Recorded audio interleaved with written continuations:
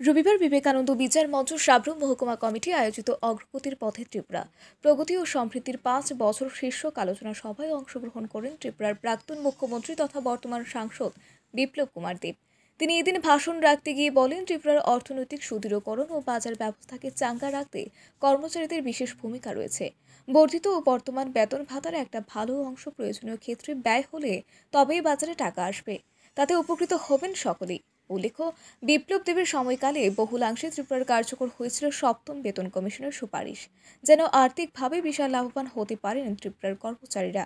যার ফলস্বরূপ ত্রিপুরার সরকারি কর্মচারীরা এখনও পর্যন্ত পেয়েছেন মোট কুড়ি শতাংশ ডিএ। আমি বলব, এই যে চোদ্দশো চল্লিশ কোটি টাকা বৎসরে খরচা হবে সরকারি কর্মচারীর জন্য যেটা অ্যানাউন্সমেন্ট হয়েছে,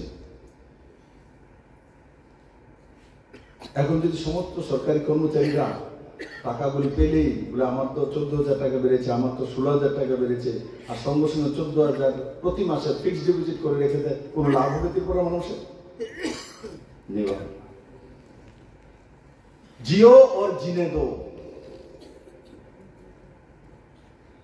যদি আপনাদের মধ্যে স্বাভিমান থাকে যে সরকারি কর্মচারীরা ত্রিপুরার সত্তা নির্ণয় করতে পারে, কিন্তু আপনাদের কাছে সেই মানসিকতা থাকা দরকার যে এই পাবলিকের কাছ থেকে যে ট্যাক্স তুলি, তারপর সেই টাকা আমাদের কাছে আসে। আমিও পাবলিক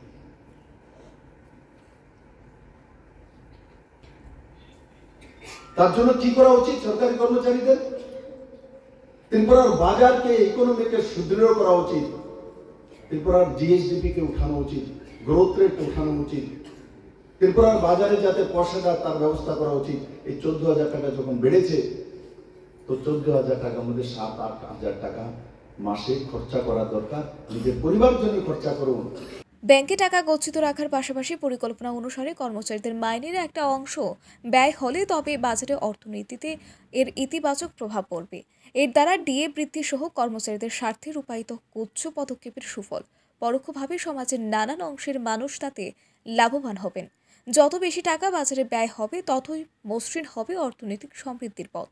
এই কথাগুলো বলেই এদিন সাবরুমে বিবেকানন্দ বিচার মঞ্চের অনুষ্ঠানে মানুষকে উদ্দীপিত করেছেন বিপ্লব কুমার দেব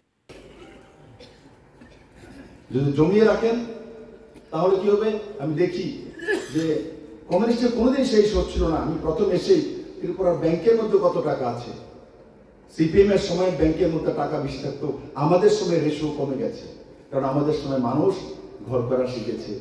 মানুষ কলকাতা ফ্ল্যাট না করে এই বিলুনিয়াতে সাবরমে আগরতলাতে ফ্ল্যাট কেনা শিখেছে।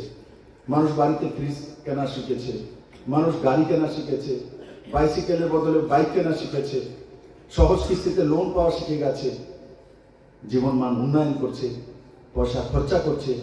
আমার প্রদেশের কর্মচারীরা মানুষেরা ব্যাংকে টাকা জমা করে দিয়েছে এফডি করে দিয়েছে এমডি করেছে সেভিংস অ্যাকাউন্টে রেখে দিয়েছে।